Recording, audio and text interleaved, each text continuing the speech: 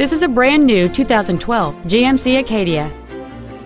It features a 3.6 liter six cylinder engine and an automatic transmission.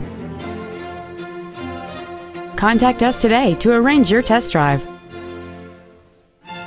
James Wood Auto Park is located at 3906 Interstate 35E South in Denton. Our goal is to exceed all of your expectations to ensure that you'll return for future visits.